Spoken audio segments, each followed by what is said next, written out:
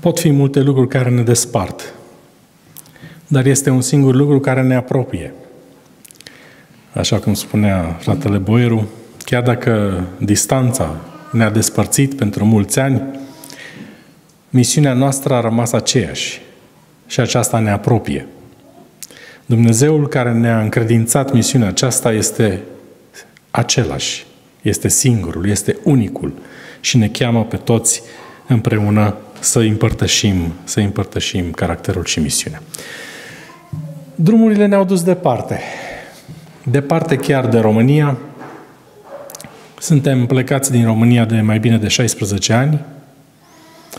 Am petrecut uh, aproape 13 ani în Statele Unite, uh, fără să avem idee că vom ajunge vreodată în Asia.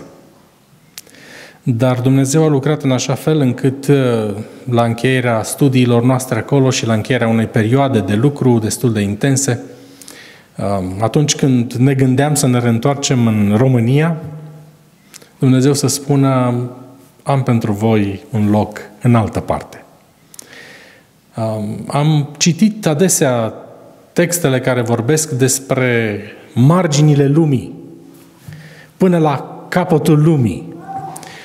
Și în înțelegerea noastră ne-am imaginat uh, acolo unde uscatul se încheie și începe marea. Dar Dumnezeu ne-a arătat că marginile lumii sunt în mare, dincolo, departe de oriunde ne-am fi imaginat noi vreodată. Astăzi locuim pe una dintre insulele din Filipine, pe cea mai mare, acolo unde este și capitala, uh, Manila, la o distanță de aproximativ două ore. Este un loc frumos, este un loc plăcut, este vegetația abundentă. Avem două sezoane, cald și foarte cald, așa că, într-un fel, noi ne bucurăm puțin de răcoarea care a venit aici peste, peste dumneavoastră. Am, a fost unul dintre locurile din lume pe care într-o zi ne-am fi dorit să-l vedem, Australia. Numai că nu este în, în traseul frecvent al uh, turiștilor, însă pentru că Asia nu este departe de Australia, um, ne-am gândit ca anul acesta să folosim cele câteva zile libere de sfârșit de an pentru a ne bucura puțin, pentru a vedea locurile și pentru a întâlni pe frații și surorile noastre care locuiesc în teritoriul australian. Din câte am înțeles de la cei de aici, vizitatorii în Australia nu sunt prea, prea frecvenți. Mă refer la românii care ajung aici. Așa că și noi ne bucurăm să fim împreună în sabatul acesta, sub același auspiciu al unui Dumnezeu unic pe care îl avem și care ne cheamă. Pentru cele câteva minute care ne sunt la dispoziție pentru închinare, aș vrea să ne închinăm. Și când spun să ne închinăm, nu înseamnă ca eu să vorbesc și dumneavoastră să ascultați.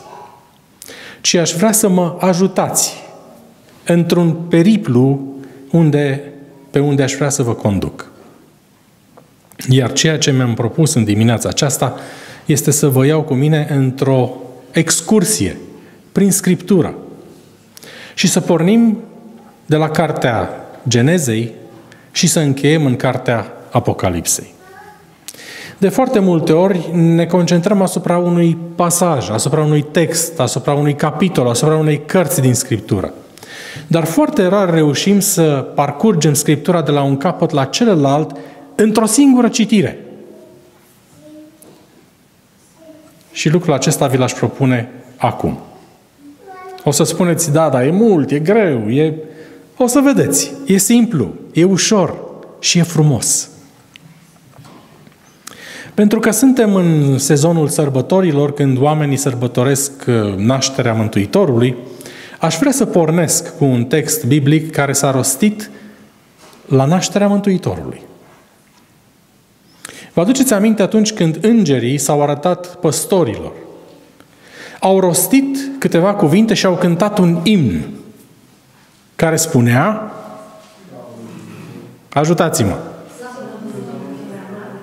Slavă lui Dumnezeu în locurile prea înalte și pace pe pământ între oamenii plăcuți lui. Slavă lui Dumnezeu! Slava este un cuvânt tradus care are mai multe sensuri. Poate fi glorie, poate fi onoare. Și aceasta este ceea ce îi datorăm lui Dumnezeu. Din păcate, omenirea astăzi aduce din ce în ce mai puțină onoare și recunoștință lui Dumnezeu. Din imnul acela rostit la nașterea Mântuitorului, din ce în ce mai puțin se regăsește astăzi. Oamenii l-au uitat pe Dumnezeu. Oamenii nu-i mai aduc lui gloria și onoarea care îi se cuvine. Pe de altă parte însă, observați la știri, de asemenea din ce în ce mai puțină pace. Război în oricare parte a lumii privești. Revolte, răscoale, teroriști, istoria recentă de aici din Sydney și nu numai. Lumea este cuprinsă de, de o furie, iar pace nu mai este. De unde am plecat și unde am ajuns? De ce am ajuns în locul și în, în situația aceasta? Haideți să plecăm din Cartea Genezei de la istoria creațiunii. Vă aduceți aminte ce s-a întâmplat în Geneza, capitolul 1? Zilele creațiunii. Dumnezeu rostea și lucrurile se împlineau. Și la sfârșitul fiecarei zile avea loc un proces de evaluare. Și ce se spunea? Dumnezeu a privit la lucrurile pe care le-a făcut și erau bune. Și ce înseamnă asta? Asta înseamnă slava, reflectau slava lui Dumnezeu. Dumnezeu era mulțumit cu lucrurile acestea care reflectau onoarea și gloria lui. Dar atunci când s-a încheiat procesul creațiunii, a existat din nou o evaluare. Și Dumnezeu a spus, și iată că erau foarte bune. Ce se schimbase? Ce se adăugase? Fusese creat omul. Și lucrurile erau de acum foarte bune. Omul reflecta slava lui Dumnezeu, gloria pe care, care îi se cuvenea. În răcoarea zilei spune Scriptura că se întâlneau și omul îi aducea închinare creatorului, creatorului său. Până în ziua de astăzi, dacă avem ochi să vedem, nu putem decât să fim de acord cu psalmistul care spunea că cerurile spun slava lui Dumnezeu. Creațiunea lui îi aduce gloria și onoarea care îi se, îi se cuvine. Adam și Eva. Dacă citiți cu atenție Geneza capitolul 2, după ce și Eva este creată, ultimul verset din capitolul 2 spune ceva. Rețineți, încă nu a intrat păcatul pe teritoriul pământului. Dar Biblia spune că Adam și Eva, omul soția lui, erau goi, dar nu le era rușine. De ce? Noi știm, astăzi știm, că goliciunea înseamnă rușine. Și de aceea purtăm haine și ne îmbrăcăm ca să acoperim rușinea. Dar Adam și Eva erau goi și nu le era rușine, pentru că pentru că nu aveau de ce să le fie rușine. Ei reprezentau slava lui Dumnezeu. Scriitoarea inspirată spune că erau îmbrăcați cu haine de glorie, de slavă, de lumină. Reflectau slava și gloria lui Dumnezeu. Dar vine capitolul 3, în care citim despre apariția păcatului, acceptarea păcatului în grădina Edenului. Și imediat, imediat, omul și soția lui fac un lucru. Se ascund. Se ascund și își croiesc haine cu care să acopere ce? Coliciunea. Pentru că de aici înainte, de aici înainte, în istoria umană apare rușinea. Rușinea înseamnă lipsa onoarei. S-a pierdut reflectarea onoarei pe care Dumnezeu, care îi se datora lui Dumnezeu. Slava nu i mai fost adusă lui Dumnezeu. Oamenii s-au trezit dintr-o dată goi și au spus, eu ce să-i aduc lui Dumnezeu? Nu mai am. Nu am. Lipsește cu desăvârșire. Și Dumnezeu i-a chemat să stea de vorbă. Unde ești? M-am ascuns. De ce te-ai ascuns? Pentru că sunt, mi-a fost frică, mi-a fost teamă, sunt gol. Mi-e rușine să apar în fața ta în felul acesta. Iar Dumnezeu întreabă, cine ți-a spus că ești gol? Nu cumva ai mâncat din fructul, din pomul despre care ți-am spus, este al meu. Este semnul cinstei, al slavei, al onoarei pe care mi-l acorzi. Nu cumva ai mâncat de acolo? Știți care a fost răspunsul omului? Tu ești de vină. Pentru că tu ai creat-o pe ea. Și ea, în loc să mă conducă să-ți ofer onoarea, și ea zice, nu, nu, nu eu, tu, Dumnezeule, ești de vină că ai creat șarpele. Și Dumnezeu spune, n-are rost să mai continuăm lanțul acesta. Ce faceți voi acum este o rușine. Și Dumnezeu stabilește niște limite, niște roluri, niște condiții în care onoarea să poată fi restaurată. Uitați-vă astăzi la flori și la frunze. Câtă onoare au? Cât? Cât durează o floare? Dacă o rupem mai ales. Dar și așa, se ofilește și trece. Frunzele se usucă și cad. Nu mai este onoare, nu mai este slavă în lucrurile acestea. Ducem flori când cei dragi ai noștri încetează din viață, la mormânt. Cât durează acestea? Cinstea pe, și onoarea și slava pe care o putem oferi oamenilor este atât de scurtă. Până și amintirea și memoria, spune Scriptura, li se uită. Dar Dumnezeu a spus, lăsați-mă pe mine să rezolv problema aceasta a rușinii. Și Dumnezeu le face celor doi haine din pielea unor animale. Nu animalele sunt cele care oferă onoare omului. Nici pielea nu este cea care oferă onoare omului. Ci Dumnezeu trebuie să sacrifice și să curgă sânge pentru că sângele este singurul care spală rușine. Aș vrea să fac o scurtă comparație în ce privește păcatul acesta care ne-a răpit onoarea.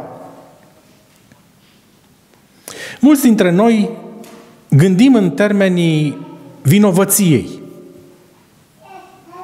Nu știu cum este aici la dumneavoastră, dar în uh, locurile în care trăim, în societatea în care trăim, Sentimentul rușinii este mai puternic decât cel al vinovăției. Când cineva săvârșește o greșeală sau un păcat, rușinea este mult mai mare decât vinovăția. Spre exemplu, pe autostradă depășești limita de viteză și poliția te oprește și îți dă o amendă. Te duci, plătești amenda și ești liber. Nu mai ești vinovat. Ai scăpat. Ai plătit. De vinovăție poți să scapi foarte ușor. Dar de rușine nu poți scăpa ușor. De fapt, de rușine aproape aș spune că nu poți scăpa niciodată. Decât dacă Dumnezeu face ceva deosebit. Unii oameni înțeleg mai ușor lucrul acesta pentru că trăiesc în astfel de societăți. Spre exemplu, te-a oprit poliția, ți-a dat uh, o amendă, Dar omul tot timpul se uită în dreapta și în stânga. Cine trece pe lângă? Cine a văzut faptul acesta? Cine a fost martor rușinii pe care am pățit-o? Și anume că mi s-a dat o amendă. Uitați-vă puțin la știri. Orientul Mijlociu, reprezentanții statului islamic, ucid, ucid, curge sânge. Știți de ce? Pentru că rușinea care consideră că li s-a făcut nu poate fi spălată decât cu sânge. Ei au înțeles principiul acesta. Și deși nu îl aplică acolo unde trebuie, dar principiul există, funcționează în societățile lor. Fără sânge nu există spălarea de rușine. Păcatul a adus în viața noastră rușine. Putem plăti pentru el, poate plăti cineva pentru noi, dar rămânem cu rușinea până când, până când sângele acceptat va spăla rușinea, rușinea noastră. În Geneza 3 cu 15 citim un lucru. Vei zdrobi capul șarpelui și șarpele îți va împunge călcâl. Știți ce înseamnă asta? Va curge sânge. Să zdrobești ceva, încerca să zdrobiți un, un fruct. Ce se întâmplă? Zeama lui, sucul lui, fructul se împrăștie peste tot. Când zdrobești capul cuiva, va curge sânge. Doar sângele este soluția pentru păcat. Cain și Abel, Geneza capitolul 4. Ce se întâmplă? Spuneți-mi, ce se întâmplă? Ajutați-mă. Curge sânge. De ce?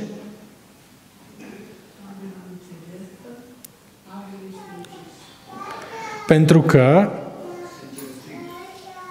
rușinea lui Cain de a nu primi binecuvântarea lui Dumnezeu este insuportabilă. Cain nu suportă. Și știți cum este mândria aceasta, onoarea rănită? Cere sânge. Sânge. Problema era că Abel a fost singurul martor ocular al faptului că Dumnezeu nu l-a binecuvântat pe Cain. Și Abel trebuia să dispară. Dacă dispare martorul ocular, onoarea mea rămâne nepătată. S-a întâmplat așa? Abel a murit. Dar Dumnezeu a spus, sângele fratelui tău, Abel, strigă din pământ. Onoarea ta n-a fost reparată. Pentru că sângele cere răzbunare. Abel îl onorase pe Dumnezeu și Dumnezeu l-a onorat pe Abel. Și jertfa lui a fost primită, pentru că jertfa lui a fost cu, cu sânge pentru păcat. Jertfa lui Cain avea un element lipsă. Nu, nu trece mult timp și Dumnezeu este obligat să spună îmi pare rău că l-am făcut pe om. Îmi pare rău. Pentru că toate gândurile lui sunt de rușine. Nu mai are nimic onorabil în el omul. Toată onoarea lui s-a dus. Nu mai spun că nu mi acordă mie nicio onoare. Dar în om nu a mai rămas nimic onorabil. Și Dumnezeu la potop trebuie să spele întreaga omenire existentă atunci, cu excepția lui Noe și a familiei lui. La scurt timp după potop însă, urmașii lui Noe spun, noi nu vrem ca Dumnezeul acesta să dispună la buna lui plăcere de noi. Avem și noi onoarea noastră. Vrem să ne facem un nume și construiesc împreună un, un turn. Câtă onoare a fost în turnul acela? Până în ziua de astăzi, numele Babel este rostit cu sens negativ. Ce este aici? O Babilonie. Ce înseamnă asta? Înseamnă o rușine, lipsa oricărei onoare. Oamenii au început să-și dorească pentru sine onoarea, să o rețină, să nu i-o mai dea lui Dumnezeu. Citim în Geneza capitolul 12 despre Avram. Un om pe care Dumnezeu îl alege. De ce? Care este dialogul dintre Dumnezeu și Avram? Ce se spune? Vino, te voi trimite într-un loc. Îți voi da ce? Un nume moștenitor, îți voi da binecuvântări pe care să le dai altora, să le transmiți altora. Observați ce face Dumnezeu? Ia un om și prin omul acesta vrea să restaureze onoarea oamenilor, dar și onoarea lui Dumnezeu. Onoare pe care suntem chemați și noi astăzi să oferim altora. Ne bucurăm când, sunt, când spunem că suntem aleși de Dumnezeu. Dar de obicei onoarea o oprim pentru noi.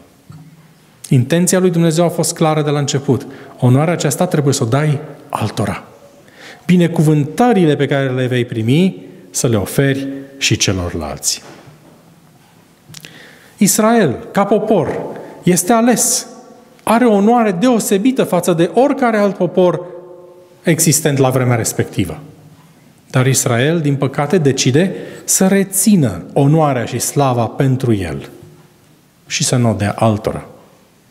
Dumnezeu i-a promis, voi fi cu tine. Și Dumnezeu își manifestă slava, prezența în mijlocul lui Israel. Are sanctuarul, ulterior templul, dar Israel face un lucru de neînchipuit. În loc să invite pe alții la templu, ei zidesc ziduri în jurul templului, fac tot felul de curți și spun oamenilor, tu numai până aici ai voie, tu nu ai voie până la templu. Era curtea femeilor. Femeile nu aveau acces direct la templu. Era curtea neamurilor. Neamurile nu erau lăsate să vină în prezența lui Dumnezeu, să vadă gloria, slava, să-i aducă cinstea și onoarea care îi se cuvenea. Observați cum Israel, în loc să lase pe alții să beneficieze de această onoare, el o restrânge. El o restrânge din ce în ce mai mult. Oamenii au reținut slava pentru ei. La un moment dat, când Israel um, este în procesul ocupării țării pe care, care îi se făgăduise, după bătălia Ierihonului, Scriptura ne spune că n-au mai avut succes. Era ca și cum lanțul a sărit de la bicicletă și ei pedalau în gol. Ei voiau să lupte, dar nu mai câștigau. Ce s-a întâmplat? Dintr-o dată au aruncat sorțul și în cele din urmă sorțul a căzut peste un om numit Acan. M-a șocat întotdeauna felul în care Iosua și ceilalți l-au invitat pe Acan să spună care este secretul. Dacă deschide Scriptura, veți vedea că îi se spune dă slavă lui Dumnezeu. Și spune adevărul. Și Acan, în situația aceea, va trebui să spună, forțat într-un fel de împrejurări, adevărul și să dea slavă lui Dumnezeu. Când ții onoarea pentru tine, reții slava lui Dumnezeu. Când oferi onoarea celorlalți, atunci Dumnezeu își primește slava. De fapt, este un principiu în Scriptură care spune așa, dacă vrei să fii fericit, fă pe altul fericit. Tu nu vei fi niciodată fericit nici dacă ai, nici dacă ești cineva. Vei fi fericit doar când vei vedea fericirea altuia. Acesta este principiul slujirii. Slujire înseamnă să mă cobor mai pe jos de tine decât nivelul tău și să-ți ofer ție cinstea și onoare. Uitați-vă la Domnul Hristos. El vine pe pământul acesta în niște condiții inumane. Inumane. Spuneți-mi puțin unde s-a născut Mesia. Unde? Într-un loc în care se găseau și stăteau și se hrăneau animalele. Dați-mi voie să spun că locul acesta a fost o onoare pentru Mântuitorul. Și o să vedeți de ce. Câți l-au așteptat pe Mântuitorul? Câți l-au așteptat?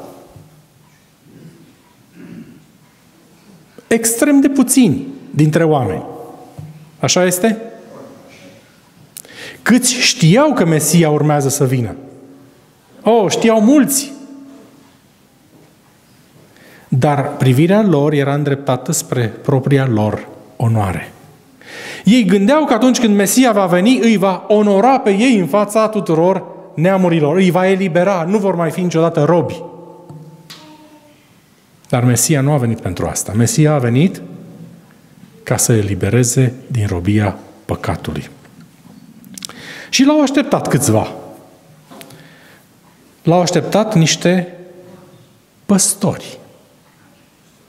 Păstorul era, păstorirea era considerată o meserie rușinoasă, fără onoare. Păstorii erau considerați hoți. De ce? Pentru că atunci când își conduceau turmele, oile mai pășteau din dreapta și din stânga, din terenurile oamenilor. Și se considera că păstorul este responsabil pentru ce fac oile. Mi-ai furat din iarbă. Nici un om normal, cu o gândire onorabilă, nu și-ar fi dorit ca fiul lui să ajungă păstor. Era o meserie rușinoasă. Aceștia l-au așteptat pe Mântuitorul. Niște oameni fără onoare. Acestora li s-au descoperit îngerii și au avut onoarea să audă cântecul pe care mai devreme l-am menționat. Slavă lui Dumnezeu în cerurile, în locurile prea înalte și pace pe pământ între oamenii plăcuți lui. L-au mai întâmpinat niște oameni pe Mântuitorul. Niște neamuri. Niște păgâni. Niște oameni care pentru evrei n-aveau nicio onoare. Nu fusese aleși. Ei nu erau persoane onorabile. Puteau ei să aibă avere, puteau să fie înțelepți, dar pentru evrei nu conta lucrul acesta. Însă oamenii aceștia s-au simțit deosebit de onorați. În primul rând să citească scripturile pe care evreii le dețineau și să afle despre Mesia. Și apoi să vadă steaua lui care a apărut pe cer. Rețineți, cerurile spun slava lui Dumnezeu. Și să meargă să-și aducă omagiul, onoarea acestui prunc născut între animale. Și s-au mai bucurat. S-a mai bucurat cineva de onoarea de a-L fi văzut pe Mesia. Până la ei, până la ei. Animalele. Dați-mi voi să spun o vorbă grea. Animalele au avut mai multă onoare pentru Mântuitorul decât oamenii. Decât ai lui. Animalele acelea l-au încălzit cu suflarea lor. Au împărțit cu el același culcuș. Animalele acelea i-au adus mai multă onoare, niște creaturi, decât restul omenirii. Cine ar fi trebuit să-i aducă cea mai multă onoare? Vă aduceți aminte la creațiune? Foarte bun.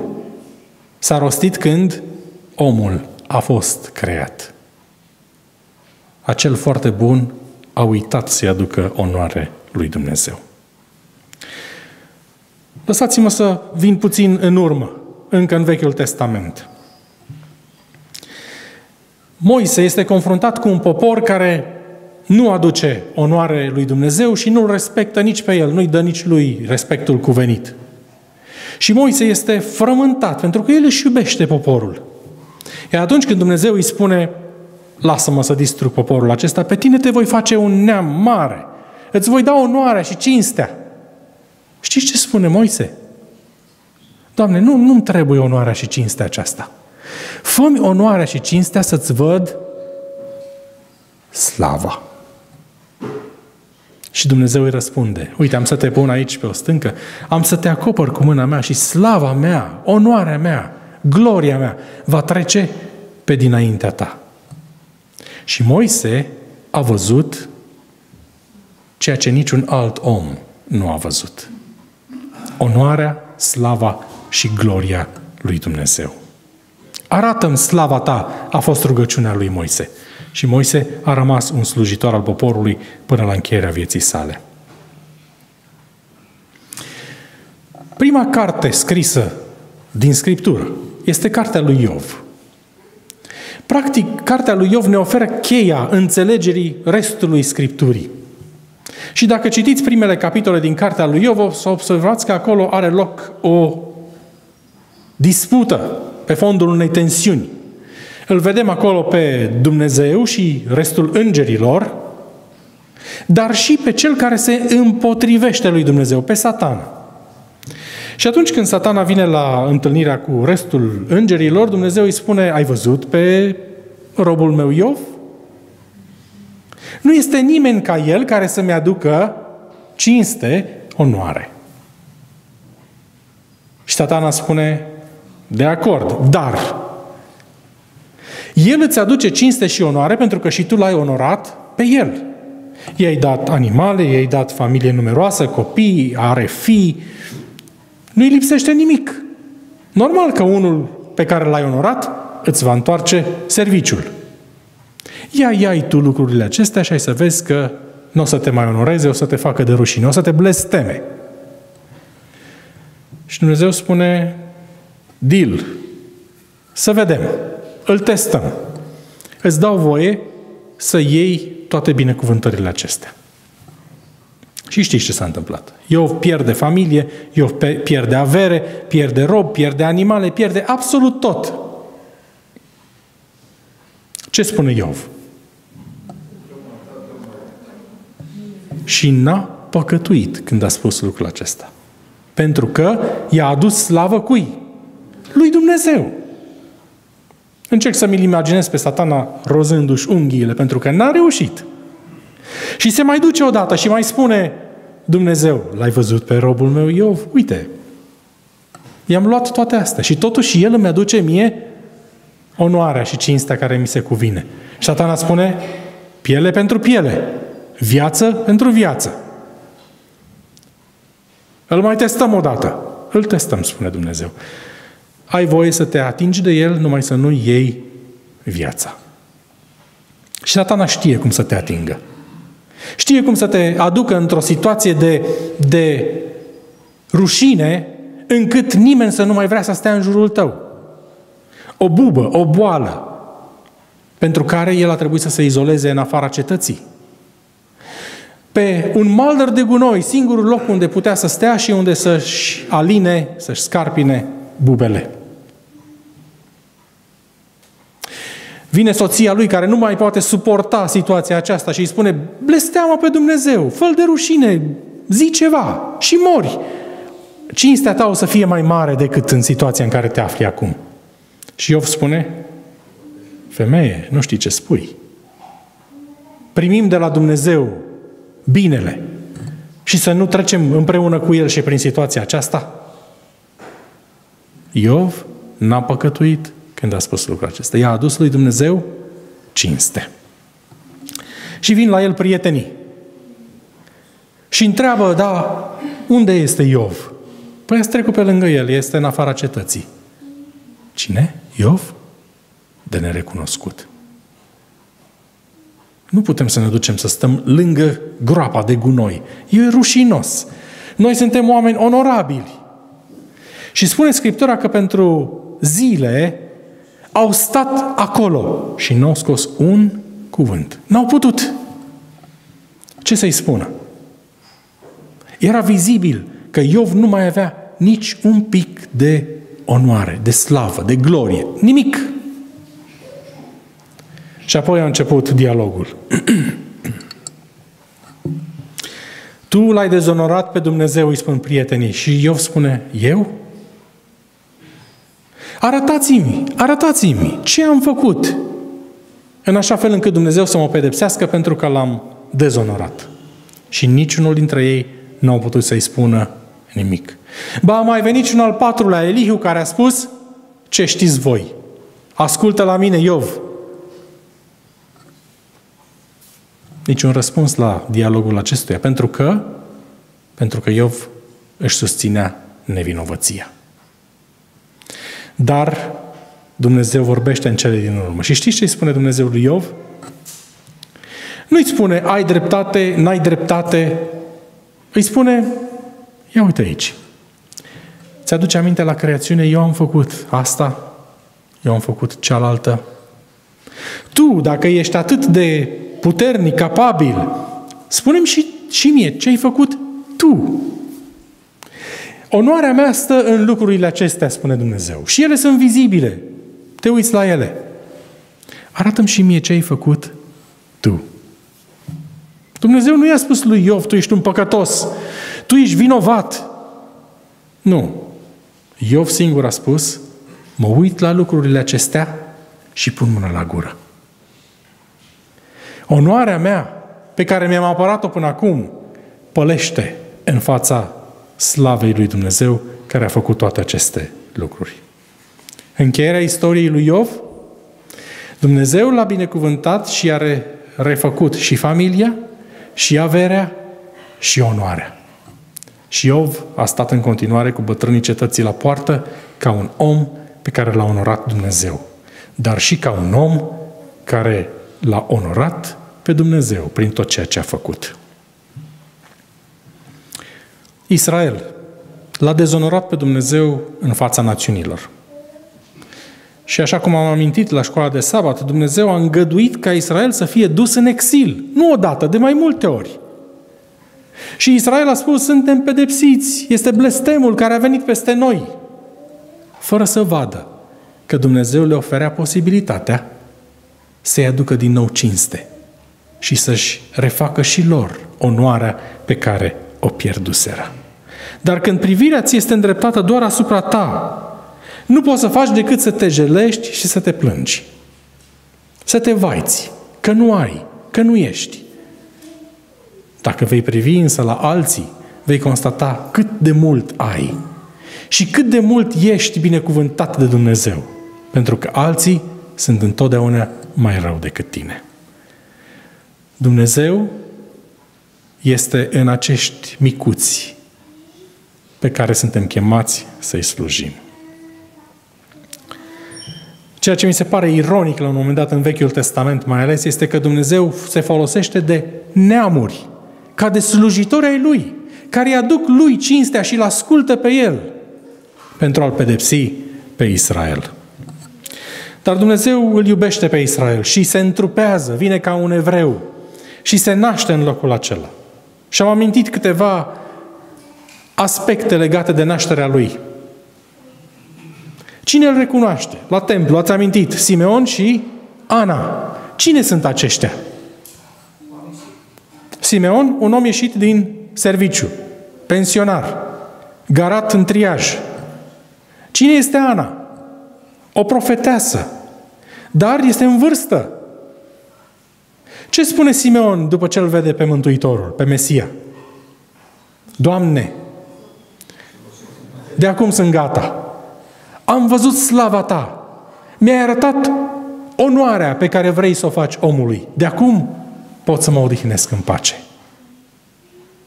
Aceasta este, acesta este mesajul oamenilor care îl onorează pe Dumnezeu. Vin să-L vadă pe Mântuitorul niște neamuri. Știți cine sunt neamurile? Cei pe care, iertați-mă că o spun așa, noi de multe ori îi catalogăm ca țigani. Nu sunt de-ai noștri. Sunt ăia. Aceștia vin să-i aducă slavă Mântuitorului. Mesia este împăratul nou născut și așa îl anunță. Magii. Irod, împăratul, când aude, spune ce? În împărat?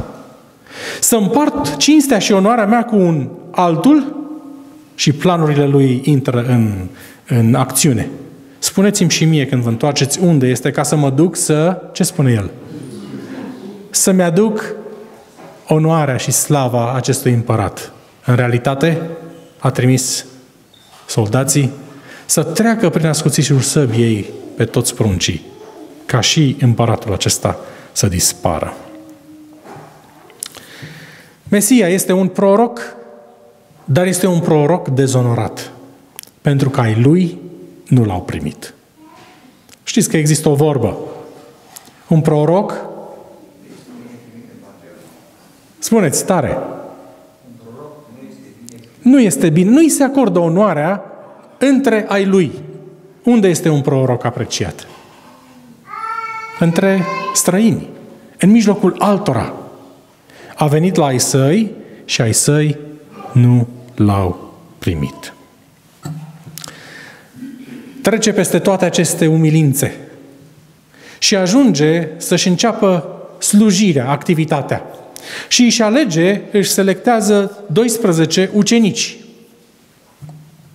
Le face onoarea aceasta deosebită de a-i fi cei mai apropiați. Și ce fac ucenicii?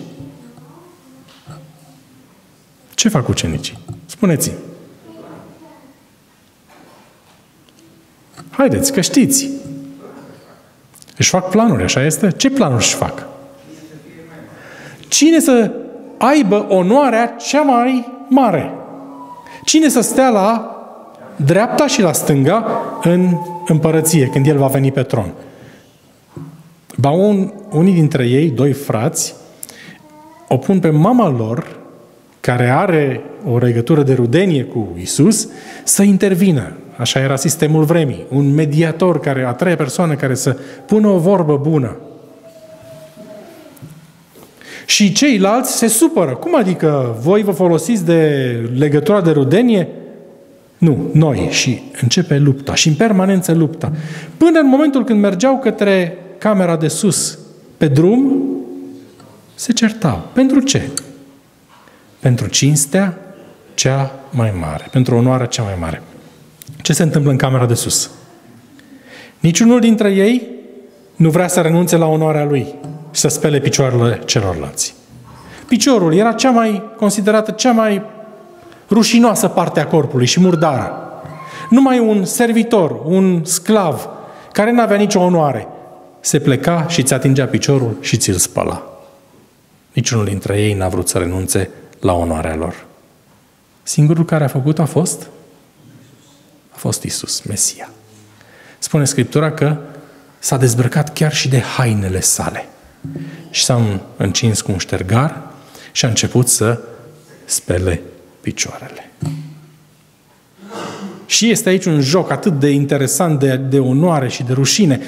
Petru la un moment dat spune, Doamne, nu se poate rușinea aceasta, Tu ești învățător, să-mi speli Tu mie picioarele.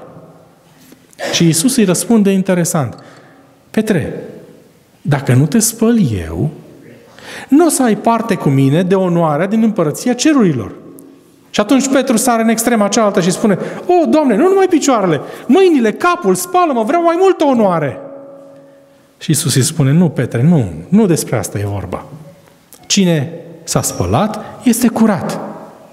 Tu trebuie să înveți, să dovedești că poți să slujești, să oferi onoare fraților tăi.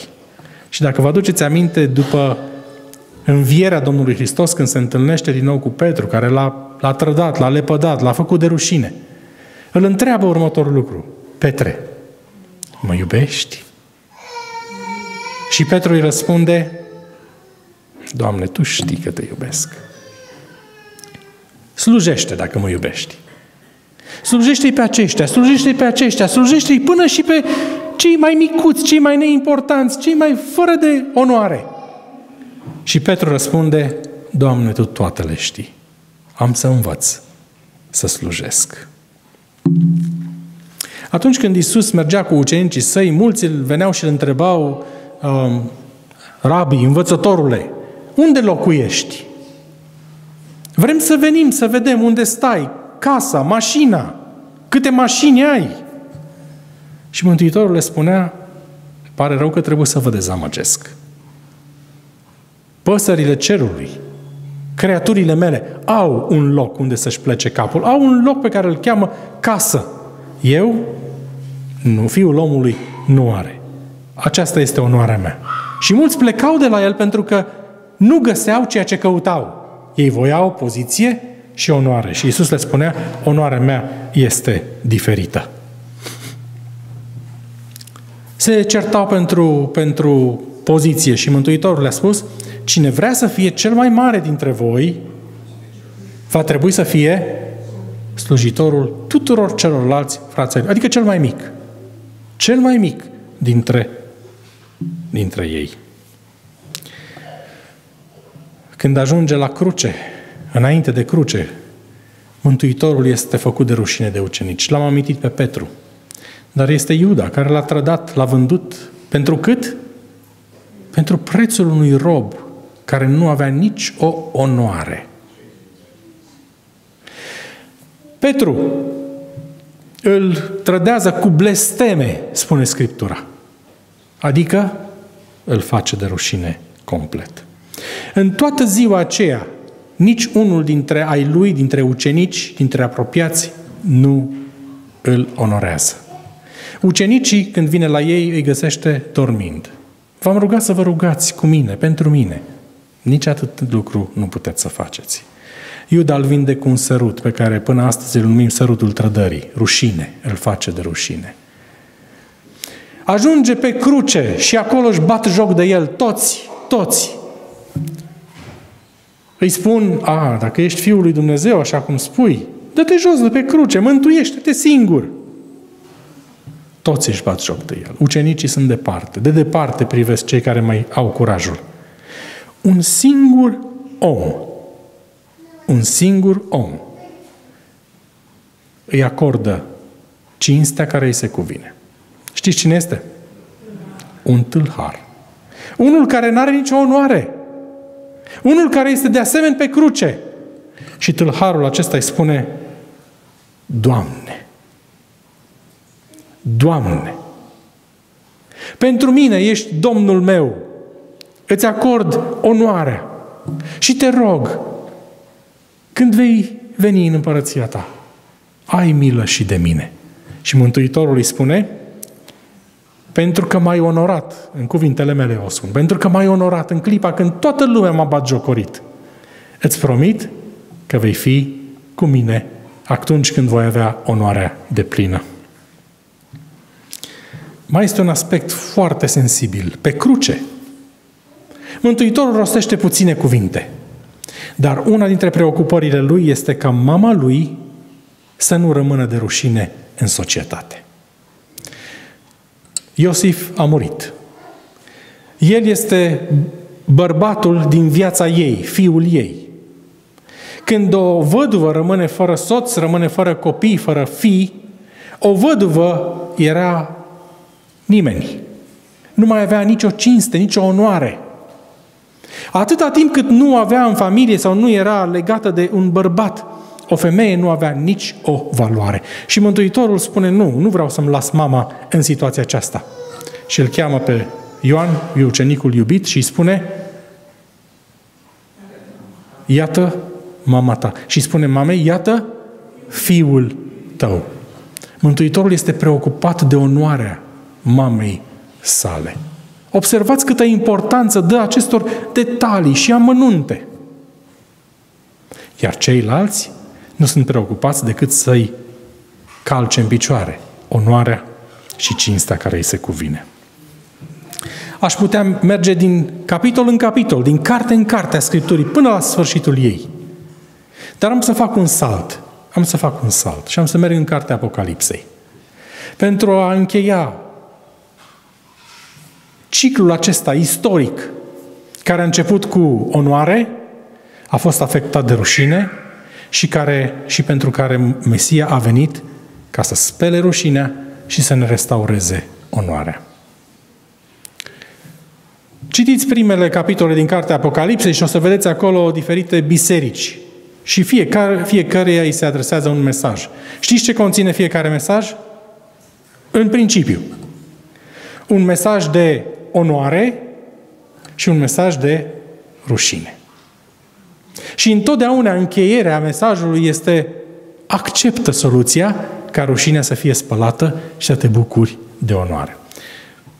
Mesajul către la Odiseea. Ce spune? Tu zici că ești onorabil, că ai, că ești. Eu spun că ești de fapt gol, că ești nenorocit, adică nu ai nicio onoare, ești de toată rușinea, orb, nici măcar nu poți să mergi singur și gol. Observați, toate acestea ilustrează ce? Starea de rușine în care ne aflăm. Dar Mântuitorul vine și cu soluția și spune, te sfătuiesc să cumperi de la mine, nu te oblig, dar te sfătuiesc dacă vrei. Uite soluția. Haină albă. Alifie ca să vezi. Și vreau să vin să stau la masă cu, cu tine. Știți ce înseamnă asta? La masă erau invitați oaspeții de onoare. Mântuitorul vrea să refacă, să restaureze onoarea pe care am pierdut-o noi. Dar Mântuitorul mai zice ceva. Um, ca adventiști, noi subliniem în cartea Apocalipsei cele trei solii ale îngerilor, cei trei îngeri care vin unul după celălalt. Ați citit vreodată cu atenție cum începe primul înger solia lui? Temeți-vă de Dumnezeu și dați slava, onoarea care îi se cuvine. Acesta este primul și cu aceasta începe mesajul îngerului. Noi considerăm mesajul acesta ca fiind solia pe care trebuie să o ducem oamenilor din jurul nostru. Și care este mesajul acesta? Onoarea lui Dumnezeu trebuie refăcută. Dați-i cinste, dați-i slavă. Al doilea înger vorbește despre ce? Babilonul. Decăzut, o rușine. Ieșiți afară din el dacă vreți să nu împărtășiți soarta și să împărtășiți rușinea. Și în cele din urmă, al treilea înger vine și spune acestea sunt consecințele. Cine stă lipit de păcat, va culege rușinea păcatului. Cine îl acceptă pe Hristos și neprihănirea Lui, va beneficia de onoarea pe care Isus a primit-o de a sta la dreapta Tatălui Său în ceruri. Îmi place nespus de mult istoria aceasta a Scripturii, care începe de la Geneza și se încheie în cartea Apocalipsei. Suntem la momentul când ne reamintim despre nașterea Mântuitorului. Haideți ca mesajul acesta să ne readucă aminte care este chemarea noastră. Chemarea de a-L onora pe Dumnezeu cu mintea noastră, cu viața noastră și prin misiunea noastră. Rușinea pe care păcatul a adus-o asupra noastră va fi spălată pentru că El și-a vărsat sângele. Îl acceptăm, acceptăm onoarea pe care ne-o face. Dar sunt mulți alții care stau încă cu rușinea păcatului și El așteaptă ca noi să ducem vestea cea bună, încât și aceea să-i aducă lui onoarea și să accepte sângele care îi va spăla.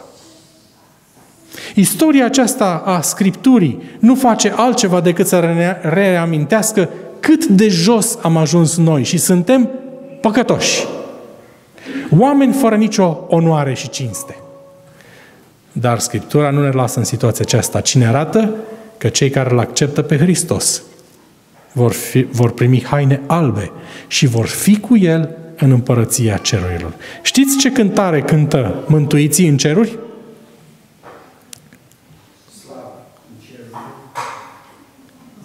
Primește slava și gloria și cinstea și onoarea. Căci se cuvine, ți se cuvine.